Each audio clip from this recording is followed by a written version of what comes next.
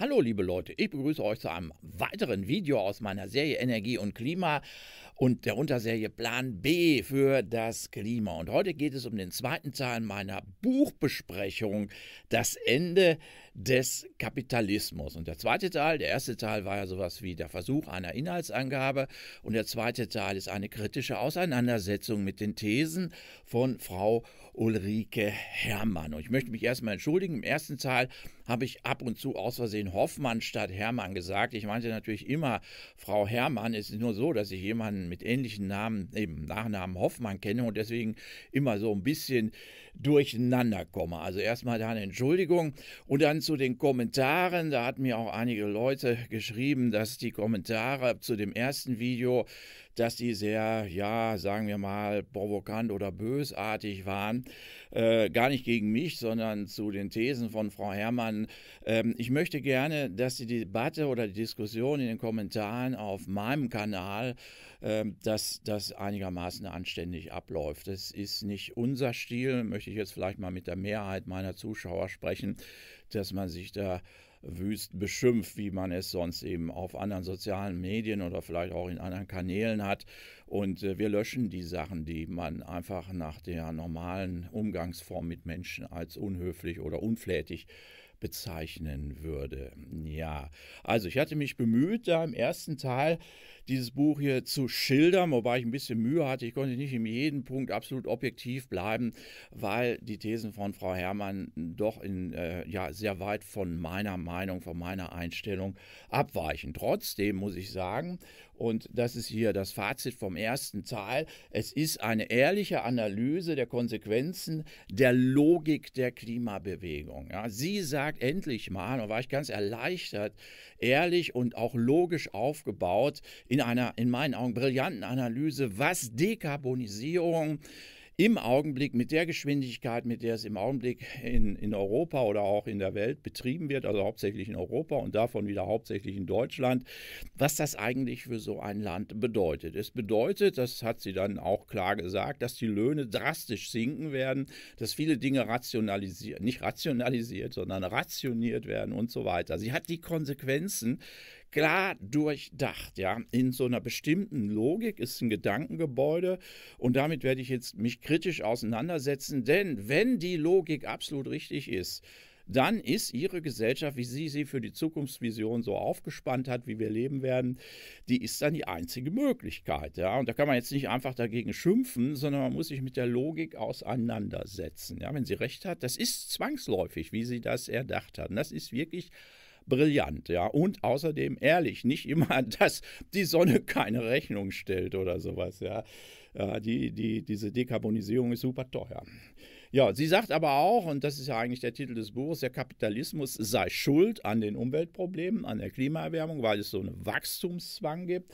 Sie stresst permanent, also das wiederholt sich immer wieder, auch in der Live-Sitzung, wo ich sie mal äh, erlebt habe. Also es war eine Podiumsdiskussion, wo ich im Zuschauerraum einfach zusammen mit ein paar, äh, ja, hundert oder so zusammen saß und hat immer wieder vom Aussterben der Menschheit geredet, wenn wir nicht so leben werden, so einschwenken, wie sie es sich vorstellt. Drohen aus Aussterben der Menschheit.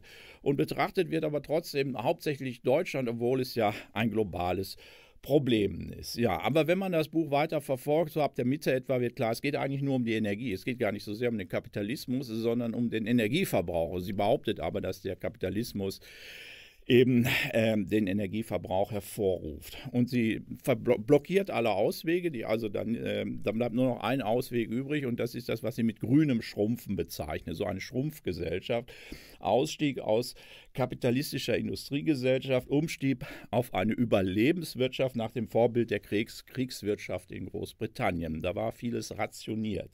Ja, konkret also steht dann im hinteren Teil des Buches keine Autos, keine Flugzeuge, kein Fleisch, keine neuen Wohnungen. Vieles wird rationiert, Extras mit Punktesystem. Man hat also 100 Punkte pro Monat oder sowas und da kann man sich für 80 Punkte noch ein Kleid kaufen und hat noch 20 Punkte vielleicht übrig. So stelle ich es mir vor für eine Tafel Schokolade pro Monat. Zeit für Gemeinsinn. Gleichheit macht glücklich. Ja, da war die Stelle, wo ich ein bisschen grinsen musste oder, oder einfach äh, mich nicht ganz ernst halten konnte. Gleichheit macht glücklich. In den USA damals, 1990, ging es los mit Diversity. Vielfalt war das Sagen. Ja, und dann hört man auf einmal 30 Jahre später, ach nee, Gleichheit macht glücklich. ja, da habe ich ein bisschen die Synchronisation oder die, die Objektivität verloren, was einfach das Gegenteil ist, was ich sonst 30 Jahre gehört habe. Na gut, Industrie wird fast ganz demontiert in Deutschland, keine Banken und Werbung brauchen wir auch nicht mehr, weil es sowieso nur eine Mangelwirtschaft gibt. Und die vielen Leute, die arbeitslos werden, werden aufs Land verschickt, Ökolandwirtschaft und Forstwirtschaft, die sehr viele Arbeitsplätze brauchen, weil es ja diese Klimaveränderung gibt. So habe ich die Logik verstanden.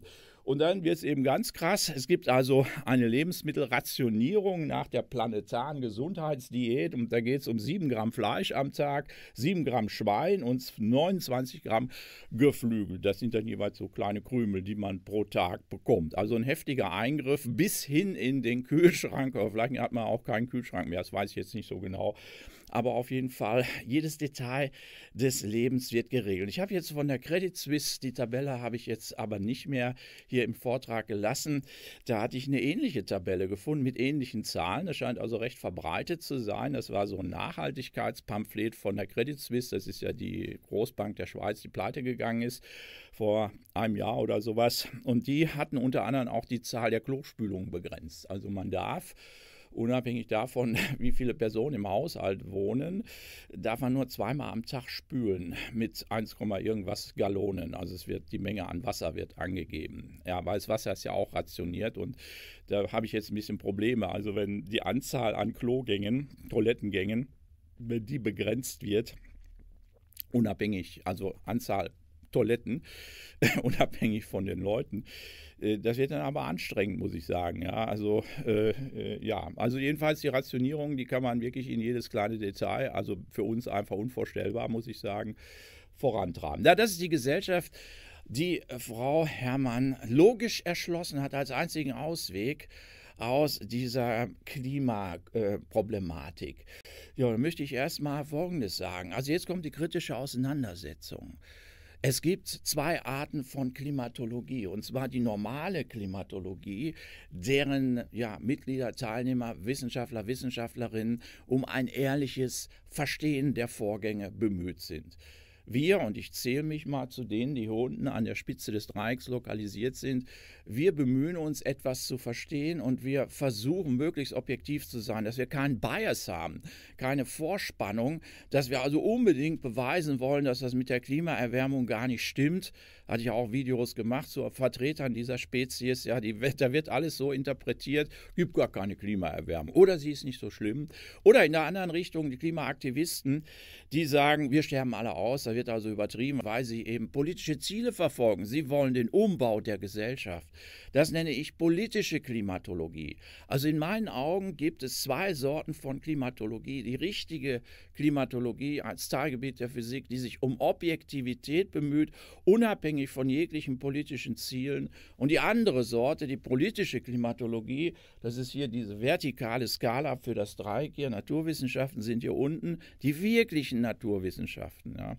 Und oben ist die Politik. Und die Politik, das sind dann auch durchaus Professoren aus der Klimaforschung oder auch aus der Energieforschung, die haben eine politische Zielsetzung.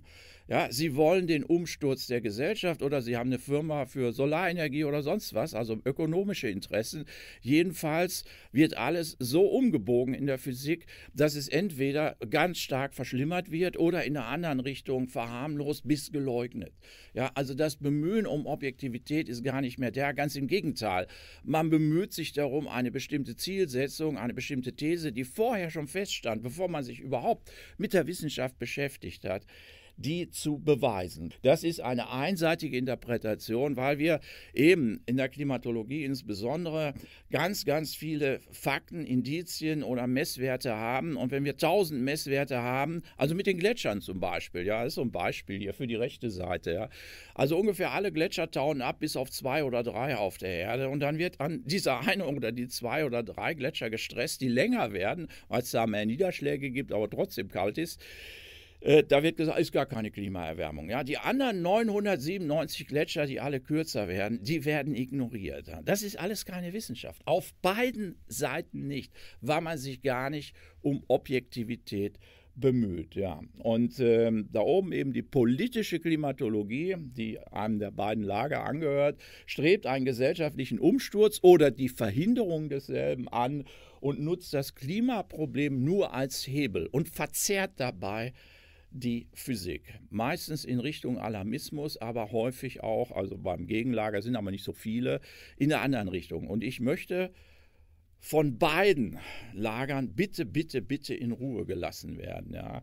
Ich versuche wirklich das zu verstehen und wenn rauskommt aus der Logik, dass wir in eine Gesellschaft, wie sie Frau Herrmann da entwirft in ihrem Buch, dieses grüne Schrumpfen, die Überlebensgesellschaft, wenn das der einzige Ausweg ist, logisch, dann ist es eben so.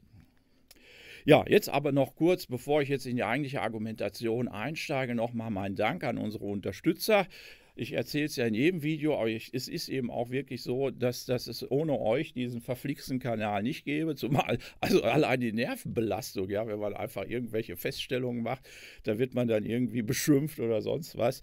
Äh, also vollkommen nervig. Ähm, aber naja, gut. Also jedenfalls danke an euch alle. Man kann an eine der beiden E-Mail-Adressen mit PayPal hier äh, einen Betrag überweisen oder eben hier, weil der, der, das kleine Team und auch der Kanal über meine Firma betrieben werden. Die ist in der Schweiz beheimatet und das hier ist die Bank meiner Firma. Das sind zwei IBANs, einen in Euro und das andere ist ein Schweizer Frankenkonto. Da kann man eben auch überweisen in der Hoffnung, dass man da geringere Gebühren hat. Aber es ist in der Schweiz beheimatet und da wird es auch ordentlich abgerechnet mit der Steuer und allem Täterete über meine Firma. Und das ist halt ein Schweizer, Schweizer Konto, da weiß ich nicht, was das aus dem Euroraum für Gebühren dann bedarf. Allerdings ähm, eigentlich äh, sollte das heute wenig Gebühren kosten. Das also an euch alle. Vielen, vielen Dank, dass ich hier weitermachen darf. Kommen wir jetzt also zum eigentlichen Inhalt dieses Videos, nämlich einer kritischen Diskussion der einzelnen Argumente und Thesen aus dem Buch von Frau Herrmann. Und ich fange mal mit der ersten Diskussion, mit dem ersten Punkt meiner Diskussion an. Und das ist meines Erachtens eine Fehleinschätzung, die Frau Herrmann macht zur Bedeutung der Energie. Also der erste Punkt, und dieses, dieses Slide hier, diese, dieses Bild wird immer wieder erscheinen, da kommen jetzt immer mehr Punkte dazu im Laufe des Videos. Also Fehleinschätzung der Bedeutung der Energie. Und ich will jetzt mal erläutern, was das bedeutet. Denn Leben ist gleichbedeutend mit Energieverbrauch. Denn Leben widerspricht dem zweiten Hauptsatz der Thermodynamik. Alle Systeme in der Natur ist ein Naturgesetz, streben in einen Zustand höherer Entropie und das heißt höherer Unordnung. Das heißt, alles von selbst strebt zum Tod. Mehr Entropie, also höheres Maß an Unordnung bedeutet Tod. Und deswegen kann es Leben eigentlich nicht geben. Es ist sehr unwahrscheinlich aus der Sicht der Physik, weil es ein hochgeordneter Zustand ist. Alle Prozesse im Innern einer Zelle müssen extrem genau geordnet und aufeinander abgestimmt sein, sonst stirbt die Zelle. Und sie kann diese Ordnung nur aufbauen durch Energieverbrauch. Energie ist die Währung der Natur selber, mit der man gegen die Entropie vorgehen kann. Entropie kann nur nur mit Energie abgesenkt werden. Energie bedeutet also Leben und Leben braucht Stoffwechsel. Stoffwechsel heißt, ich verbrenne als Mensch jetzt hier Fette und Zucker zu CO2. Ich bin also auch eine Verbrennungsmaschine und mit diesem Energieverbrauch erkaufe ich mir die Ordnung, die mein Körper braucht, damit er überhaupt lebendig sein kann. Und das Leben war immer begrenzt durch die Energieverfügbarkeit. Also in der ganzen Evolution sind die ganzen Spezies, die da entstanden sind, immer angepasst daran, wie viel Energie ihnen in der jeweiligen ökologischen Nische zur Verfügung steht. Und wenn sie sehr wenig Energie nur zur Verfügung hatten, dann haben sie auch sehr wenig gemacht. Ne? Dann haben wir zum Beispiel die Pflanzen, das sind die sogenannten Primärproduzenten, Primary Producers heißen die, glaube ich, weil sie eben sich nicht von anderen Lebewesen ernähren, sondern unmittelbar von der Sonnenenergie Energie leben. Aber der Preis ist ja hoch, den sie dafür bezahlen, denn sie sind bewegungslos. Die Energie reicht also nicht aus, damit diese Pflanzen so durch die Gegend laufen können oder sowas. Und wenn Winter ist, dann verfallen sie sogar in die Winterstarre. Das heißt, die Bäume verlieren ihre Blätter. Also das ist ein Ausdruck von einer extremen Energiemangelsache. Ja? Die können keine großen Hüpfer machen, die Pflanzen. Und dann gibt es die Pflanzenfresser, die ernähren sich von den Pflanzen und da ist die Energiedichte der Nahrung, die Verfügbarkeit ist dann schon ein bisschen höher. Sie sind also beweglich, ne? also die Weidetiere, die können rumrennen oder so, aber sie sind eigentlich auch wehrlos. Ja? Auch das immer noch so, ich interpretiere es jetzt mal so ein bisschen einseitig. Man kann es so interpretieren, dass auch Weidetiere, die sich eben von Pflanzen ernähren, immer noch nicht so die, die hohe Energiezufuhr haben. Und Fleischfresser dann, die sind eben mobil und aktiv. Und der Mensch ist auch die erfolgreichste Spezies, zumindest im Augenblick auf dem Planeten, weil wir selber sind alles Allesfresser, wir können uns von allem ernähren und das macht uns extrem flexibel und wir haben Zugang auch in der natürlichen Umgebung, im Urwald oder so, zu sehr vielen unterschiedlichen Nahrungsquellen. Und Nahrungsquellen ist eben Energie, ja. Und deswegen haben wir ein Gehirn. Als Pflanze braucht man kein Gehirn, weil man sowieso bloß rumsteht, ja. Also äh, höhere Gehirnfunktionen haben auch was mit Energieverfügbarkeit zu tun. Deswegen muss man sehr vorsichtig sein, wenn man sagt, wir müssen Energie sparen. Man fährt eventuell das Leben insgesamt herunter, also das Leben einer ganzen Gesellschaft. Ja. Energieverbrauch ist also nicht automatisch was Böses, sondern man braucht die Energie, um gegen die Erhöhung der Entropie anzukämpfen. Ja, also Energie ist von höchster Bedeutung für uns, für jeden Einzelnen, für das Leben insgesamt, für jede einzelne Zelle, für die Pflanzen auch, das Sonnenlicht und natürlich auch für eine ganze Gesellschaft.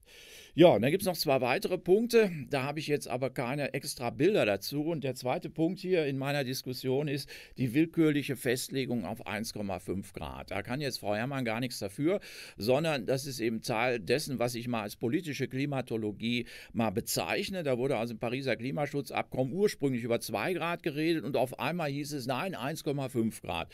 Obwohl die richtigen Klimaforscher, also die Wissenschaftler und Wissenschaftlerinnen wissen, dass 1,5 Grad auf jeden Fall überschritten wird wird, weil bei der augenblicklichen CO2-Konzentration von 420 Parts per Million wird es sowieso wärmer als 1,5 Grad. Das ist schon vorprogrammiert. Es dauert nur eine Weile, weil die Erwärmung des, des Erdklimas, die hinkt immer nach. Also selbst wenn wir jetzt aufhören mit CO2-Emissionen, wird es trotzdem um mehr, zumindest für eine Weile, um mehr als 1,5 Grad wärmer werden. Ist also ein unrealistisches Ziel, von, was von den Aktivisten aber gefordert wurde, gleichzeitig mit der Verknüpfung einer enormen Übertreibung. Das ist der dritte Punkt hier, Übertreibung der Folgen, dass sie sagen, wenn wir 1,5 Grad überschreiten, dann würden wir aussterben. Ja, also vielleicht sagen sie es auch erst bei 2 Grad, aber die ursprüngliche Grenze war 2 Grad, weil, wenn wir zum Beispiel letzten 10.000 Jahre, also die Zwischeneiszeit betrachten, ja, da war das, das Holozän, da war es im Maximum, im Klimaoptimum des Holozän sowieso eine Ecke wärmer als, als äh, zu Beginn der Industrialisierung, vielleicht ungefähr, man weiß nicht so ganz genau,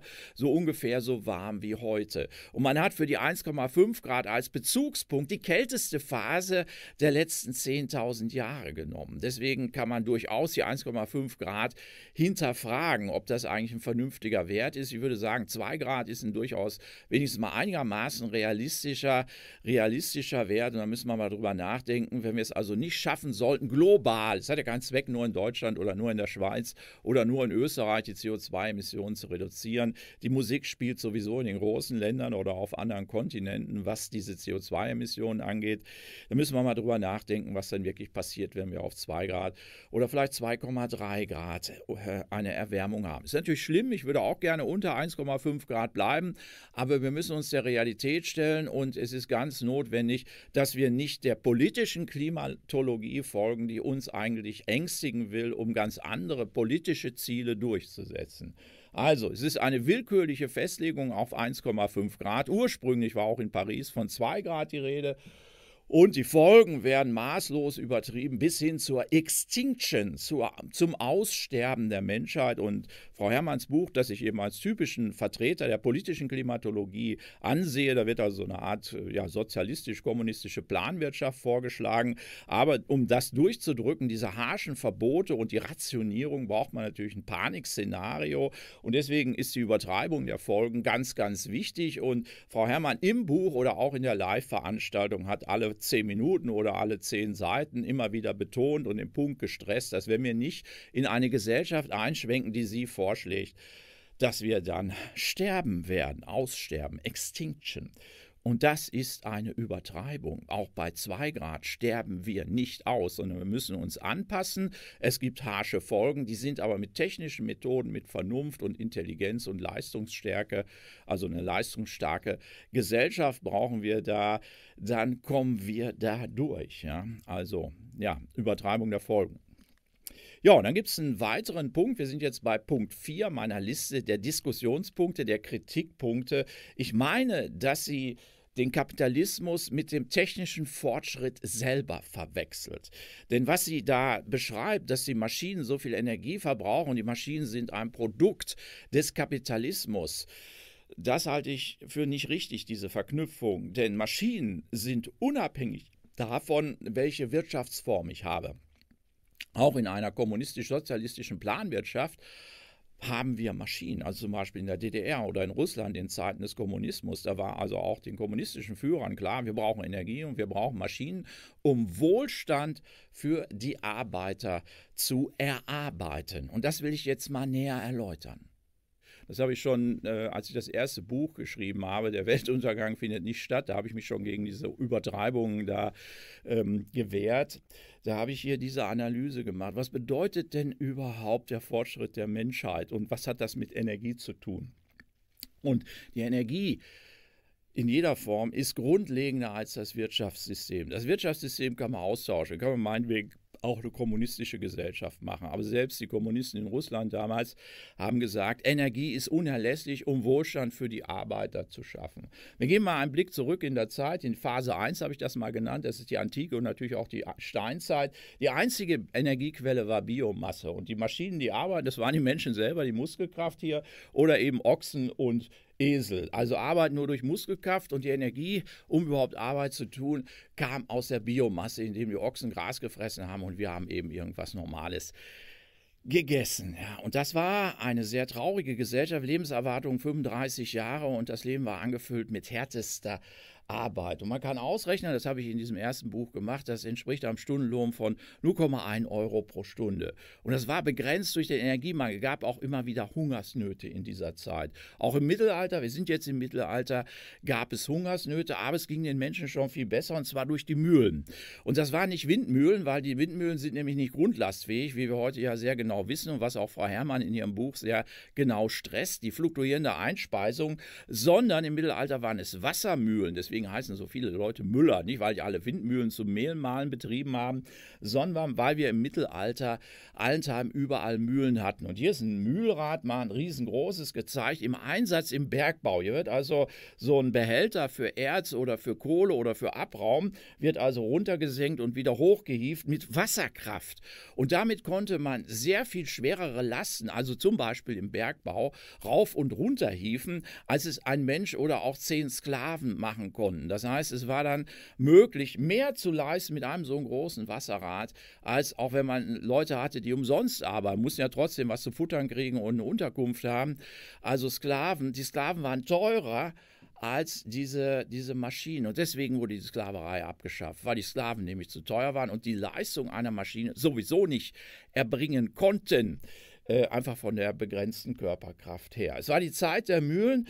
Man hatte eine neue Energieform zusätzlich zur Biomasse, Wasser- und Windmühlen und der Lohnstand ging dann umgerechnet für einen ganz normalen Arbeiter hoch um Faktor 10 auf 1 Euro pro Stunde, aber der Energieverbrauch ging auch um den Faktor 10 nach oben. Ja, und hier steht noch 1800 nach Christus am Ende der Mühlenphase, zu Beginn der Industrialisierung, gab es über 100 verschiedene Mühlentypen und allein in Frankreich 80.000 Mühlen. Ja, also Mühlen waren da die, der, der große Hype. Und da kam die Dampfmaschine. Wir sind jetzt in der Phase 3, in der wir heute noch sind. Ähm, die äh, Energiequelle hat nochmal am Power-Faktor 10 gewonnen durch Kohle, Erdöl, Erdgas und die Kernenergie. Und wir sind heute nochmal ein Faktor 10 höher im Stundenlohn, also ganz grob.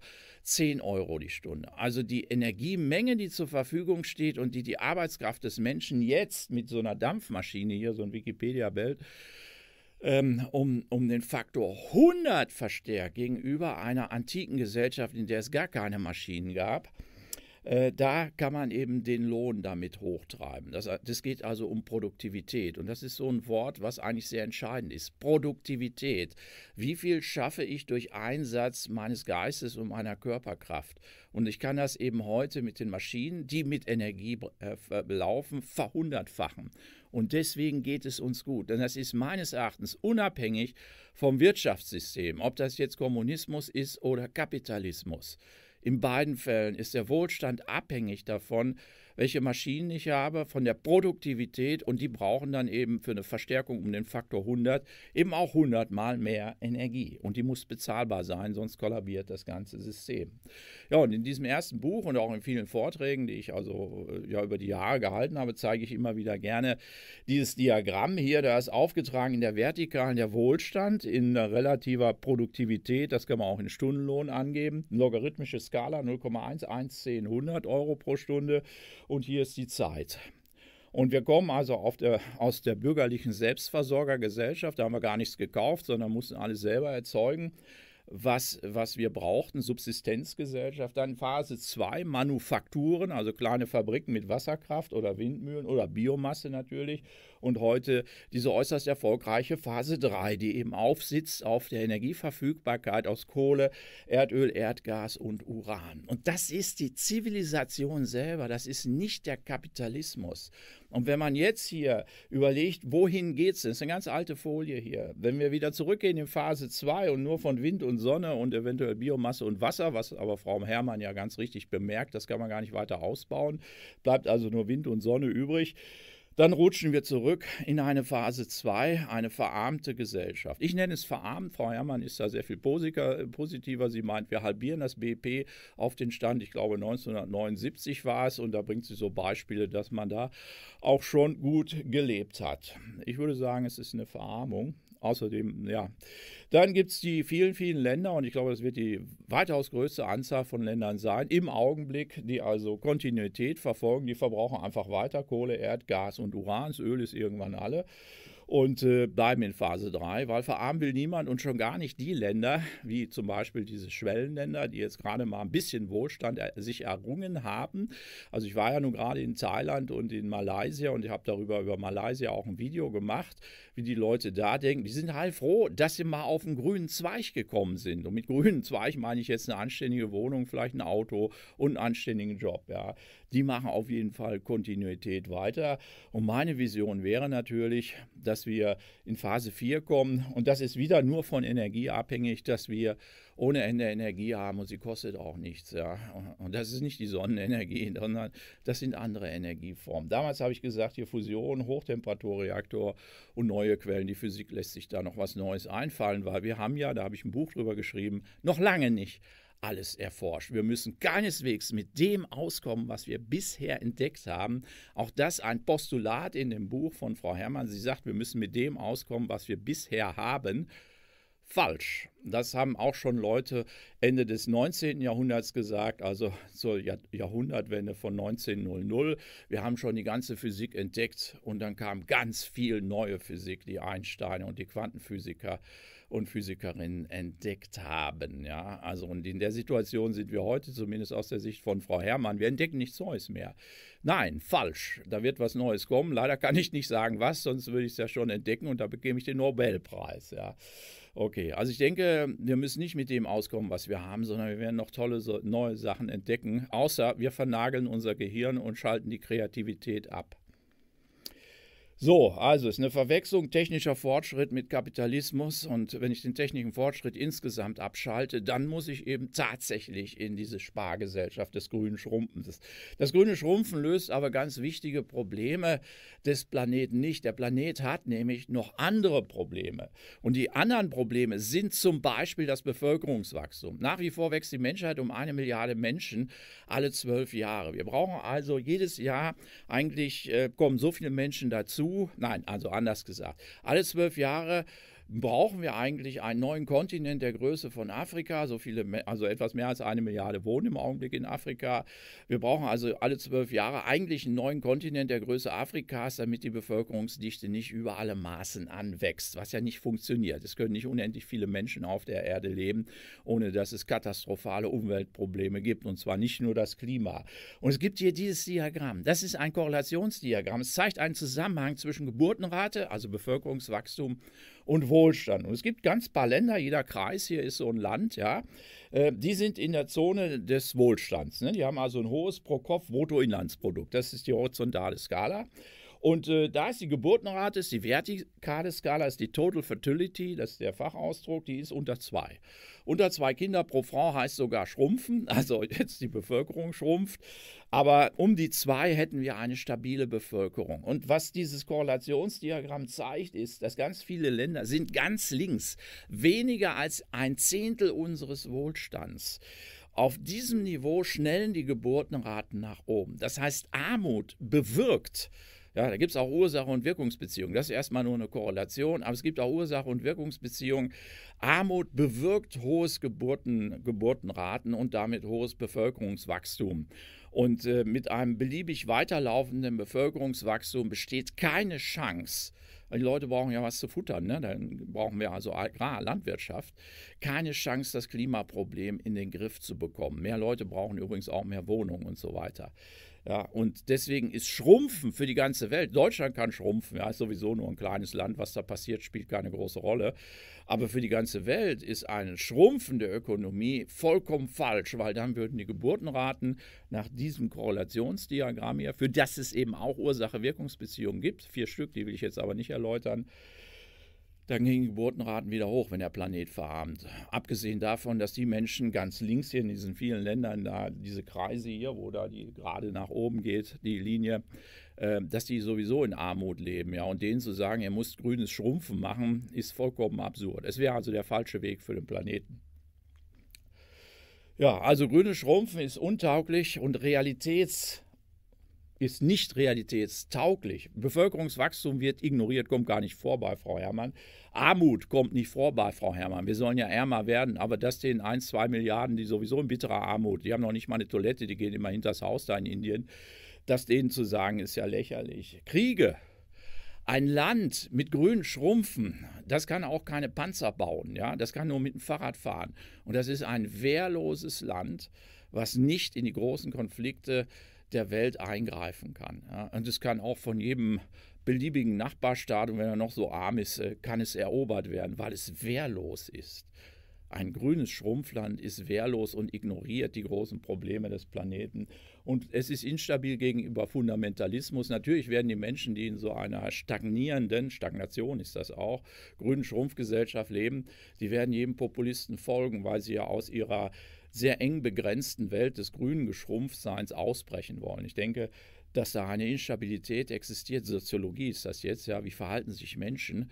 Die werden einem Populisten folgen. Die Gesellschaft ist nicht stabil. Eine, und, aber sie würde auch sowieso untergehen, wenn sie denn durchhalten würde. Eine Gesellschaft, die sich nicht entwickelt, wird untergehen, weil das ganze Prinzip der Natur ist eine Fortentwicklung. Grünes Schrumpfen bedeutet Stagnation und das Verschwinden der Kultur. Im Wettbewerb der Systeme hat eine grüne Schrumpfkultur keine Chance, weil es immer andere Staaten gibt, die das nicht mitmachen und äh, denen das Klimaproblem dann auch einfach egal ist, aber dann eben zur Weltmacht aufsteigen werden.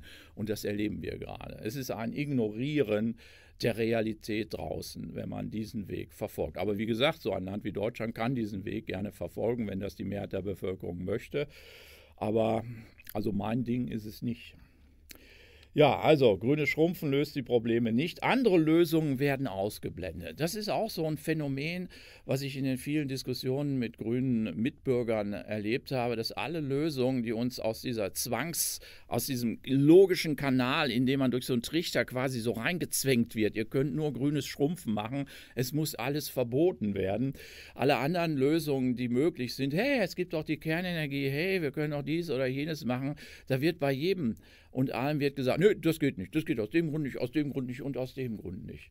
Und das macht Frau Herrmann auch. Sie blendet also alle Auswege aus dieser Zwangslogik aus.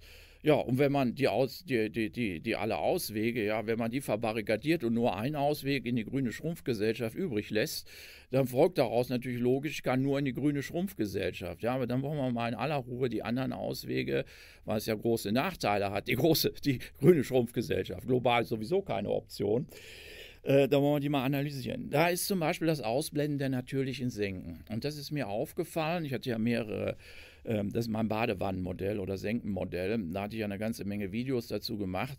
Und mich hat immer ein bisschen gewundert, dass die Leute sich nicht über die gute Nachricht freuen, dass uns die Landpflanzen und die Ozeane bei der Bekämpfung der CO2-Erwärmung helfen. Ja, das, steht auch so im Weltklimaratsbericht drin, jedenfalls in den richtigen Berichten, nicht, im, äh, nicht in dieser Zusammenfassung für äh, Entscheidungsträger, die ist wohl eher politisch gefärbt, sondern in den richtigen Berichten, in den großen. Da stehen die Senken drin, werden auch im Detail diskutiert. Aber die politischen Klimatologen wollen das nicht. Die sagen entweder, es gibt gar keine Senken oder sie sagen, die Senken werden nächste Woche oder jedenfalls in nächster Zukunft sich erschöpfen, weil sie voll sind. Und das finde ich schon verblüffend. Das ist ja eigentlich eine gute Nachricht. Ja? Und die Senken sind auch nicht in absehbarer Zeit voll. Da muss ich jetzt leider ein Buch drüber schreiben, weil das ist wirklich absurd. Ja? Man hat eine gute Nachricht und die wird mit aller Macht von den Seiten der politischen Klimatologen bekämpft weil sie das nicht haben wollen. Dann habe ich lange nachgedacht, warum ist das so? Warum sind die denn so vollkommen dagegen? Ja, das liegt daran, was die Panik aus dem System nimmt. Also diese Zwanghaftigkeit des grünen Schrumpfgedankens, die wird aufgebrochen in dem Augenblick, wo ich einen Ausweg habe dass das Problem vielleicht noch durch andere Maßnahmen als das grüne Schrumpfen bekämpft werden kann. Und dazu gehören die natürlichen Senken. Ja, und es gibt eben politische Klimatologen, die wollen die Panik im System halten. Ja, und ich nehme sie raus. Ja, und dann kann man diese selbigen natürlichen Senken, die also von selbst erstmal etwa die Hälfte des CO2s im Augenblick aufnehmen von den Menschen, die kann man auch noch verstärken. Und dann würden sie ja noch mehr aufnehmen. Und schon reduziert sich die Panik im System. Dann blendet, also die Senken werden mal ganz kurz erwähnt. In einem Satz im Buch steht, ach so, übrigens die Hälfte der CO2-Emissionen wird natürlich von den grünen Senken, von den natürlichen Senken aufgenommen. Aber dann sagt trotzdem Frau Herrmann, obwohl sie sagt, die Hälfte wird im Augenblick aufgenommen, Trotzdem sagt Frau Herrmann, wir müssen auf absolut null dekarbonisieren. Die Menschheit darf, das steht da im letzten Kapitel, da sind diese ganzen Postulate, die Menschheit darf null CO2 emittieren.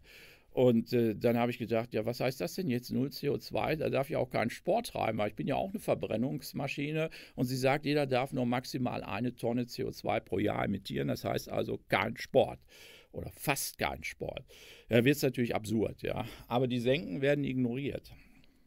Also sie werden erwähnt, ja, da kommt man nicht drum herum, weil jeder kann ausrechnen, dass es die Senken geben muss für, für das aktuelle Jahr oder die vergangenen Jahre. Und äh, finde ich schon verblüffend, muss ich sagen. Na gut, also schreibe ich ein Buch drüber. Dann die Kernenergie, die wird natürlich sofort ausgeblendet als Energieform, die ja grundlastfähig ist. Und dass draußen in der Welt massiv in Kernenergie investiert wird, dass es jede Menge neue Kernreaktoren gibt, ganze Typen von Kernreaktoren, also Thoriumreaktoren, Fluid- oder Dual-Fluid-Reaktoren werden neu entwickelt. Das wird alles ignoriert oder als viel zu gefährlich abgeschrieben. Die Fusion kommt gar nicht vor, obwohl ja in Cadarache in Südfrankreich ein großer neuer Forschungsreaktor in Bau ist. Fusion geht nach unserem heutigen Wissen bisher nur groß, ja.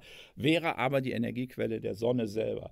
Solarenergie in der Wüste wird ausgeblendet, erklärt sie auch, warum das nicht geht. CCS wird ausgeblendet, was das jetzt genau ist, will ich nicht erklären. Sie sagt allerdings, wenn, äh, also es geht darum, dann erkläre ich es doch, das CO2 aus Pumpquellen wie Kohlekraftwerken wird abgepumpt in den Boden und bleibt dann da in so bestimmten salinen Aquiferen zum Beispiel. Und sie beschwört dann, dass das wieder hochblubbert und dann sterben die Leute alle, sie ersticken, weil da das CO2 sich dann äh, da auf der Erdoberfläche ausbreitet und kann man nicht atmen. Also das schließt sie auch aus. Erdgas, das ist Fracking oder sowas, wird natürlich ausgeschlossen und aktive Klimakühlung, das hatten wir auf unserem zweiten Symposium analysiert. Es gibt die Möglichkeit gegenüber Umkippprozessen mit äh, aktiver Klimakühlung sozusagen als Notlösung zu arbeiten. Das ist bezahlbar und machbar, aber all das wird eben aus der öffentlichen Debatte und insbesondere natürlich in dem Buch von Frau Herrmann ausgeblendet, weil es nimmt die Panik aus dem System und die politische Klimatologie lebt von der Panik. Ja, und von der Depressivität. Und ich muss sagen, ich habe dieses Buch zweimal durchgelesen, damit ich überhaupt diese beiden Videos, die Zusammenfassung des Inhalts und jetzt die kritische Analyse machen konnte. Und ich war dann hinterher ganz deprimiert, weil erstmal, wenn man das liest, folgt man der Logik und denkt, oh Gott, jetzt müssen wir für die nächsten 10.000 Jahre, es gibt kein Timeout, ne? also diese grüne Schrumpfgesellschaft ist dann für immer. Es ist nicht so durchhalten und dann sind wir durch und dann können wir weiterleben. Nee, nee. Das ist eine Gesellschaft für immer. Ja, immer geschrumpft. Äh, ja, da werde ich dann deprimiert, ja. Und dann ist mir aber klar geworden, dass dieses, diese Sichtweise, ist eigentlich von einer gewissen Depressivität geprägt. Und mir fiel dann Marvin ein. Ah, tut mir leid, das ist jetzt ein kleiner Scherz, aber mir fiel wirklich Marvin ein. Hier ist ein Wikipedia-Bild, äh, wie man sich Marvin vorstellen kann. Es gibt eigentlich vom Autor Per Anhalter durch die Galaxis so ein Kultwerk, ich glaube aus den 70er oder 80er Jahren. Es gibt vier Bände oder sogar fünf, habe ich alle gelesen. Das ist sowas von lustig. Also Science Fiction ist es eigentlich. Per Anhalter durch die Galaxis. Und da gibt es einen Roboter, also eine KI, eine künstliche Intelligenz, würde man heute sagen. Und er war depressiv, ja. Und er hat alles in den düstersten Farben gesehen, die man sich vorstellen kann. Die Menschheit wird aussterben, warum ist sie denn nicht schon längst tot, ja? Und hier steht unter anderem so ein Ausschnitt aus, dem, aus einem dieser vier Bände dieses, dieser Romanfolge Per Anhalter durch die Galaxis.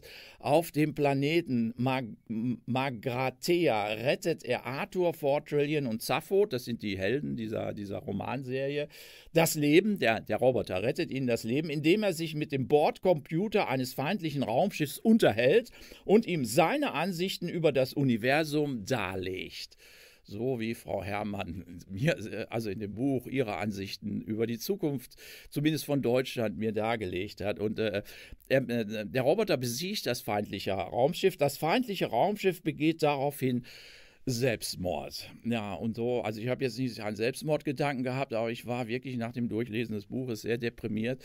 Aber da fiel mir eben Marvin ein. Ja, es ist eine sehr düstere Sicht. Ja, also das mal als kleinen Einblick. Das war meine Assoziation nach diesem Buch hier. Andere Lösungen werden ausgeblendet.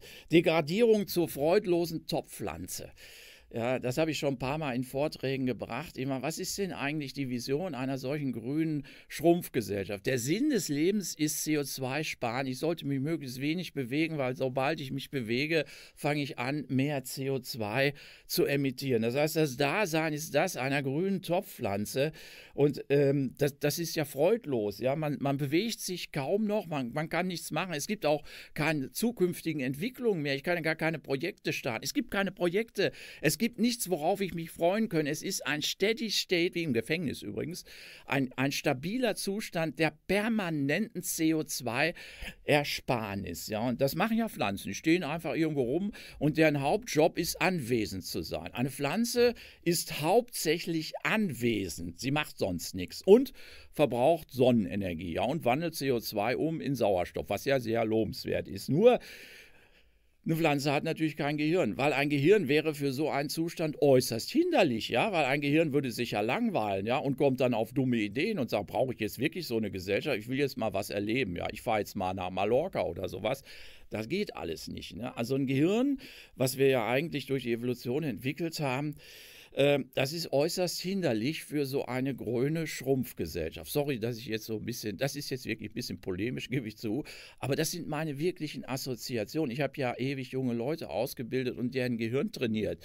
In einer grünen Schrumpfgesellschaft, da brauchen wir auch keine Universitäten mehr, ist gar nicht nötig. Man ist ja einfach nur anwesend.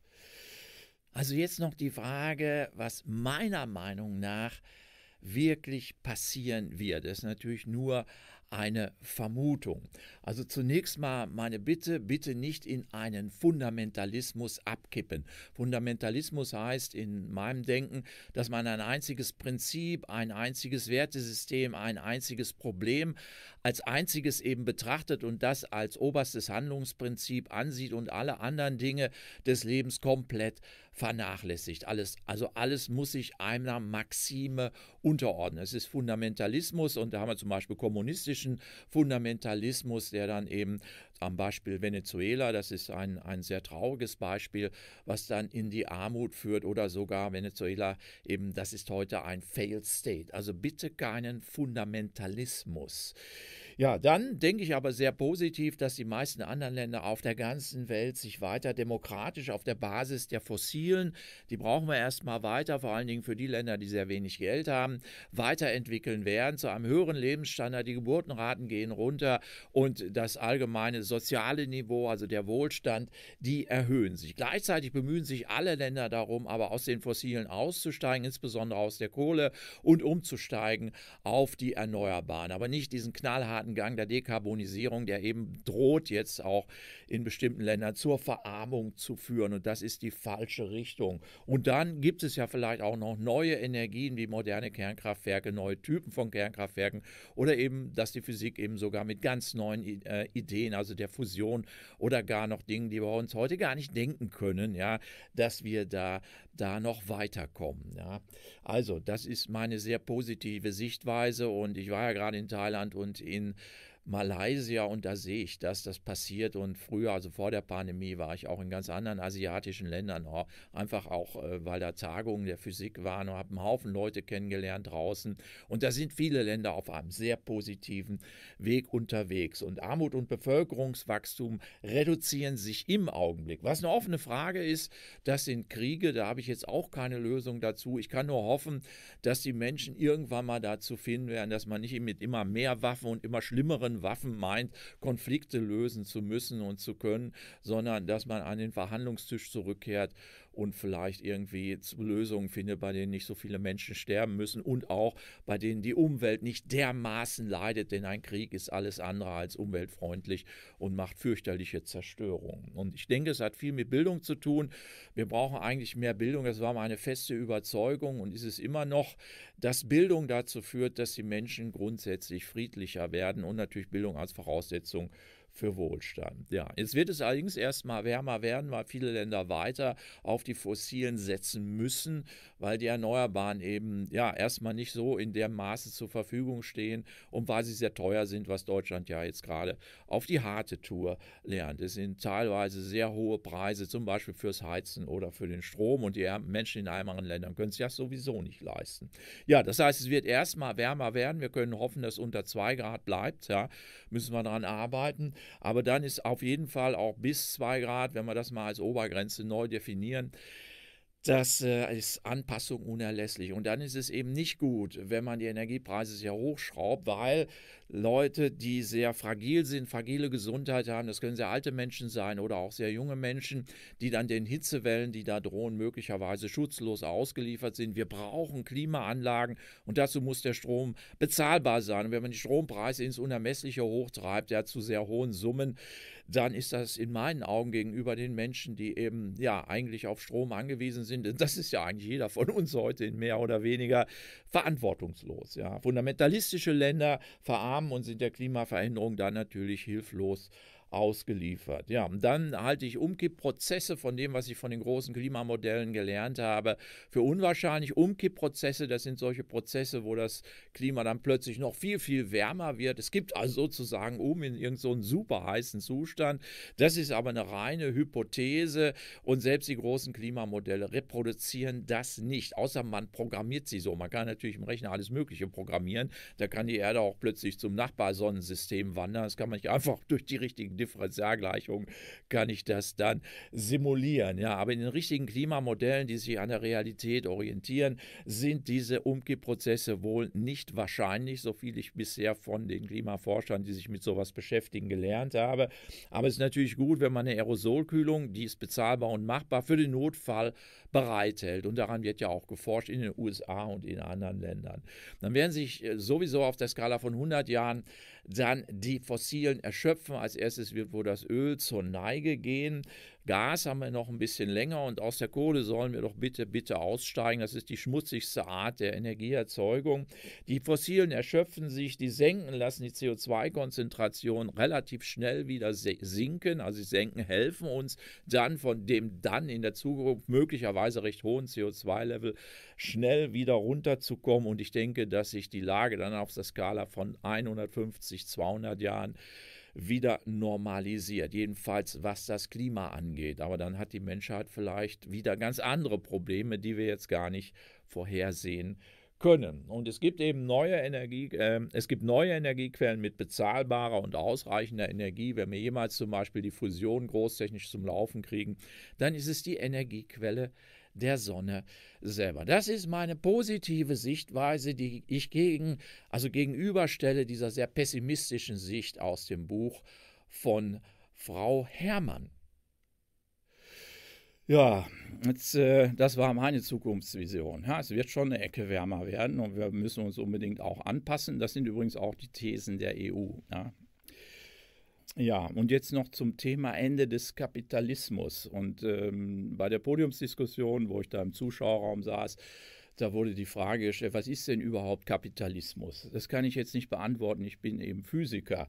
Heißt es freies Unternehmertum? Ich habe eine Idee, eine Business-Idee und will eine Firma gründen und das wird mir dann verboten, weil es eine Planwirtschaft ist.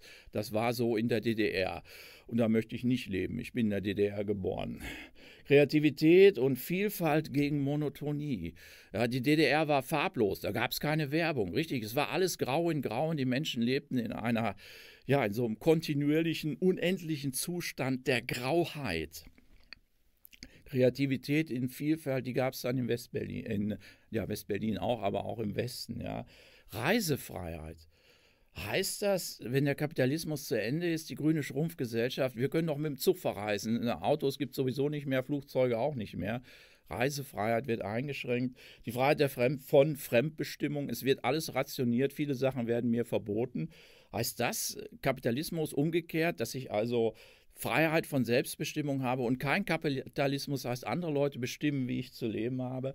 Oder heißt eben äh, Kapitalismus, dass ich eben nicht arm bin und alle anderen Staatsformen haben. Ich weiß nicht, was Kapitalismus ist, aber in dem Kontrast zwischen DDR und Westdeutschland, als die beiden Staaten nebeneinander existierten, da war das ganz klar. Das war also genau graue Armut ohne, ohne freies Unternehmertum, keine Reisefreiheit und so weiter. Und mich erinnerte diese, diese vorgeschlagene Gesellschaft des grünen Schrumpfens schon sehr entweder an die DDR-Zeit oder eben an die, die Kulturrevolution von Mao, wo auch eben äh, normale Arbeiter aus den Städten aufs Land geschickt wurden, um da Landarbeit zu leisten.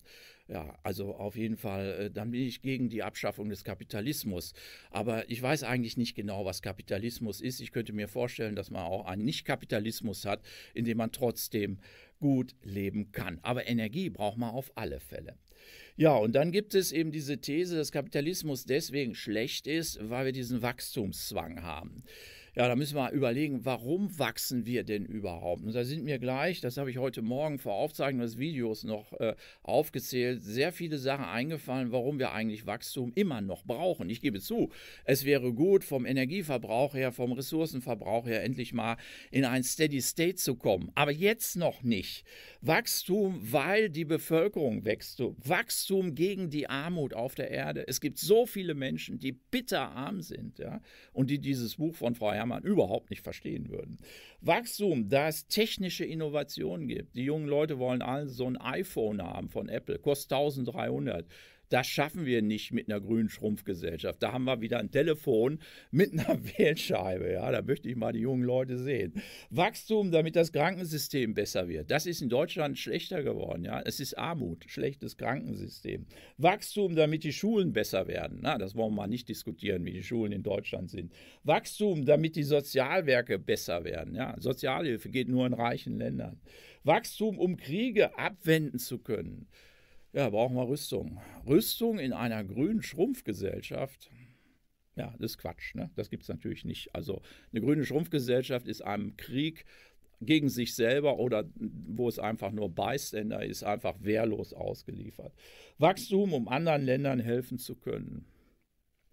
Wachstum, um Vorbild zu sein eine grüne Schrumpfgesellschaft ist auf jeden Fall, also für mich jedenfalls, kein Vorbild. Und ich glaube, über die Freunde, die ich da in Malaysia gewonnen habe, ist das auch kein Vorbild. Ja. Ähm, ja, und zum Schluss Wachstum, um den Klimaschutz bezahlen zu können. Er ist nämlich sehr, sehr teuer.